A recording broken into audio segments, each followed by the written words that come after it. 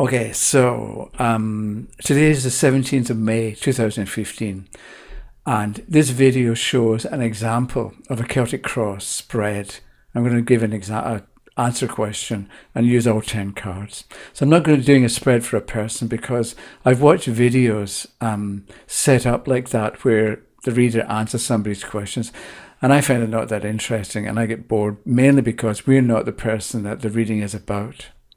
So I do have a question, and um, it's a kind of general one, and it came from a conversation with somebody I met on a train back from Toronto one night. So I, I didn't know the person, but we got into conversation, and he was telling me that the company um, in that he works for in their industry, they have trouble keeping good women um, in higher positions. They develop these women develop expertise and contacts over time for a few years, but then they want to have families and they have to take time off. But when they come back, the hours are still demanding, and the women really can't f- juggle um, looking after children with the requirements of the work. So the company loses people all the time that they would like to keep, partly because they're good at their job. So the question that I asked was, what can the company do to keep good women? And it's deliberately a bit vague so that we can answer completely and so that we could go off at tangents if required. And what I did was, um, before I did the reading, I picked a card in advance because I wanted to get a comment on whether the question, whether it was the, the question was worth answering. And I could have got the reverse devil or something else that means don't bother. You know, it's not going to work. But instead, I got the ace of baton. So the answer is yes, something can be done. So I think it's important to think about what we want from the answer. And if I can illustrate it this way, let's say somebody is struggling with mathematics, right? So one one possible approach is to look at the kind of questions that they're having trouble answering and go over several examples with them and show them the solutions so that the person can then figure out how to do a problem on their own. The thing is though that math is is linear. And this means that if you don't understand the early points, you won't understand the later ones. Right? If you can't add and subtract, you can't do calculus. Right? So a better approach with um, somebody struggling with mathematics is to determine where the person is weak or what they're having trouble understanding. Then make sure that they understand the earlier points that they're building on with the current uh, set of problems. Make sure they see the early points, then they're going to be able to answer the question because it's like they've got a more complete understanding. So, in the same way, we can ask this question about how does the company keep the good women, and we can look to the spread to get an idea of what's going on. So we can select actions or attempt, or so the company can select actions or attempt solutions that have a better chance of success. Because there may be many apparent solutions to the problem, but some won't work, and some solutions are better than others. And we can look at the cards that are chosen to point us in a useful direction. Because we're not looking for a magical, you know, conjuring the solution out of thin air answer. Okay, so with, with this with these ten cards, there's always going to be more to say, but I'll sort of go through it quickly and talk about what seemed to me to be the main points so that you can then make sense of your own readings and your, the spreads that you do for your people. So I shuffled for a while and I got the first card was it shows the atmosphere surrounding the question, and I got the sun reversed. Okay, so it's the sun. And we know everything revolves around the sun. Okay, but the card is upside down. So it's like there's nothing to revolve around. This is the atmosphere surrounding the question. There's nothing to revolve around. There's no central directing force. There's no direction. They the company and the women, they're operating without a plan and they're in a disorganized situation. So it's going to be hard to find, to get and find a direction because nobody's in charge. So if there are 10 people involved, um, you're going to get, find 10 different points of view because no one's running things. And this is an awkward atmosphere with the sun reversed. Second card's the opposing force, and I got the Ace of Batons. And the way I look at it, it was the Ace of, the Ace of Batons reversed. This could be good, you know, it might be good because it's an ace that shows a new beginning. And this is what the companies are looking for a fresh start to keep women um, coming back and willing to return to work after childbirth.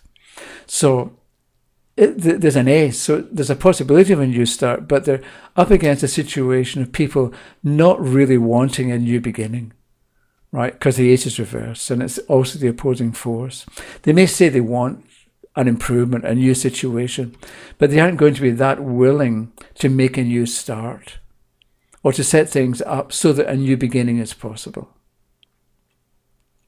The suit is batons, and that represents energy and enterprise. But it's as if, because the ace is reversed and because it's the opposing force, it's a bit like the will is not there to make it happen. The energy isn't there to make it happen. So the first thing you've got to do is get people excited about the possibility of improvement and show how everybody benefits. And again, it's going to be difficult.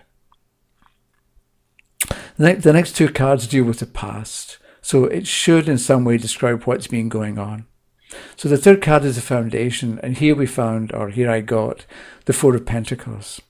So we've got the fellow sitting holding, and he's got the feet, the coin below his feet, and one on his head. So coins represent money and values. But as we can see from the picture, people are attached to their own values. And this kind of situation, or the, the situation shown by the picture, it looks quite fixed. So it's not changeable, or it's not going to be easy to introduce changes. So what, and this is the past, the foundation. What's been going on has been going on for a long time. And because it's been going for a long time, it seems like it's the only way. You know, that's how it's always been done. This is the way it's, it is going to be done. And it's as if the setup itself, the arrangement, the current arrangement, doesn't see the need to change. So the fourth card shows what's passing away, and here I got the Ten of Pentacles reversed. Right, so it's a 10 for the end of a cycle and the possible beginning of a new one, but it's upside down. As if they get to an end point, but then they keep repeating the impasse, or they come up against the same obstacle time and again.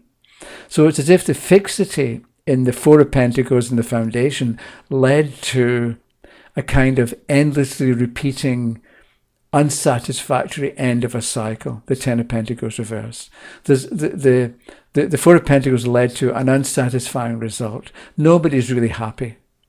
It hasn't, the, the Four of Pentacles hasn't produced success. There's no continuity from generation to generation because we can look at the picture and see the young woman and the child and the guard and the old fellow. Right? So Maybe it indicates there's been a certain loss of income as well because it's Pentacles for money. And the women who left would have contributed to the income of the company. And their expertise may be represented by the old man who's older and wiser and knows what he's about. That expertise of these women has been lost. So the fifth card shows what may come, and I got the Empress reversed. So the Empress is female. So it looks like it's telling us about the women, a, a possible future for the women. They're not going to be happy. The Empress reverse. They're, they're, they're not going to feel appreciated or valued. And they're also not going to be, a, an Empress is somebody in charge. So the Empress reverse, they're not going to be allowed to make decisions. They're not going to be allowed to be in charge. Their importance, even though the board knows that the women are important, and would like to keep them, their importance isn't going to be noticed or accommodated. And it's a, the is a major trump and it's reversed. So it's as if the women want to have a serious say, though they ought to be obeyed, right? Because they're represented by the Empress.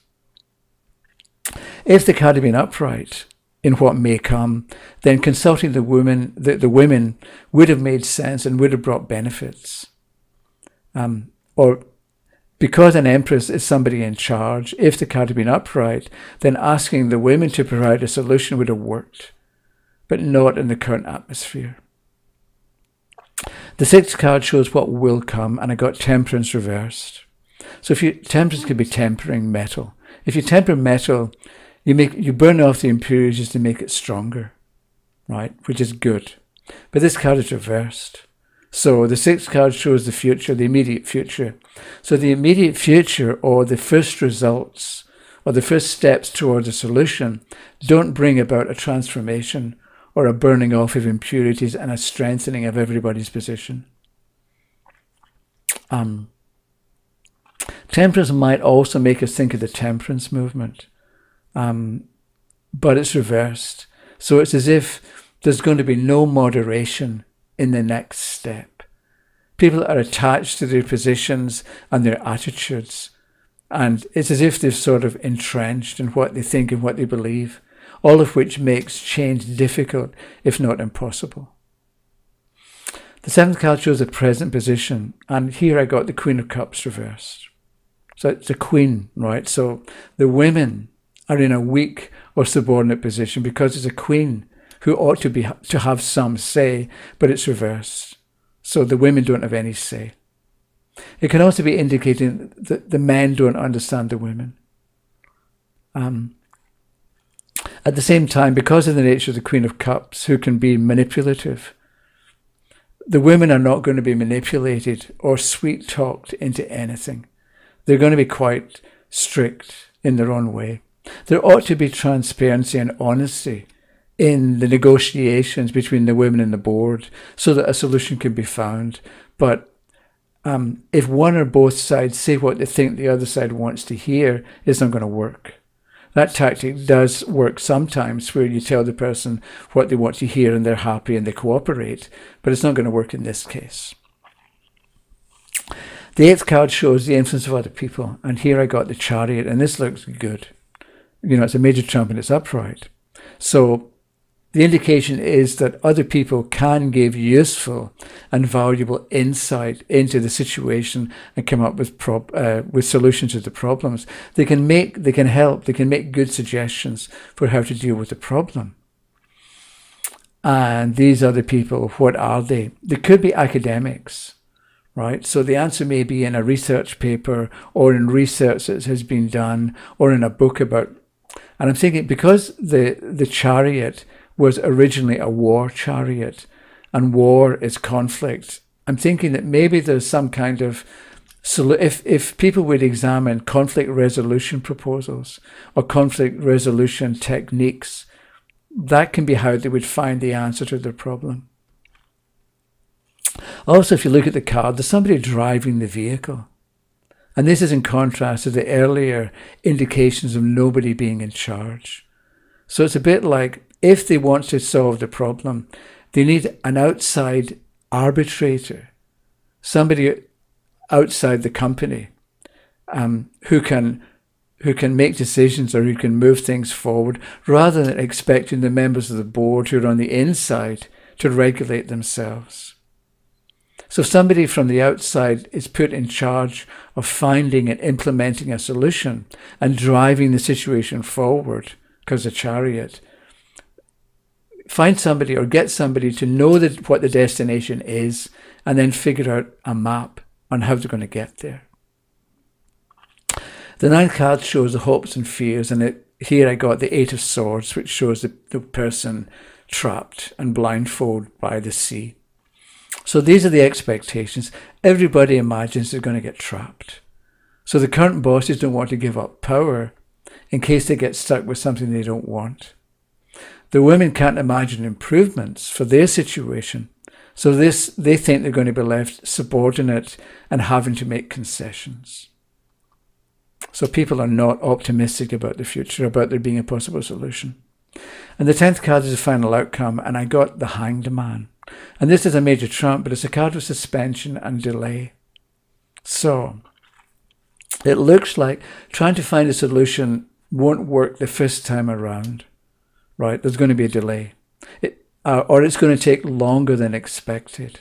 So the people need to be patient and to try certain things. If it works, good. If it doesn't work, tweak it or change it and keep working at it.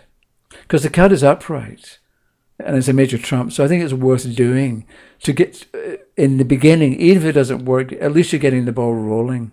So discuss what is required and discover what the actual issues are that both sides are concerned about. So I, I know I've been rushing. I need to keep an eye on the time. Um, so that was a quick run through of the cards that came up. There's always more to say. And if there are comments or questions over the next few days, I'll do a follow up dealing with the points that you've raised. Um, and I'll upload it next week. Otherwise, there'll be something else next week. But I'm not sure at this point what it's going to be about. So, in the meantime, uh, that was a bit rushed. But anyway, thanks for watching and have a good week. Okay, bye bye.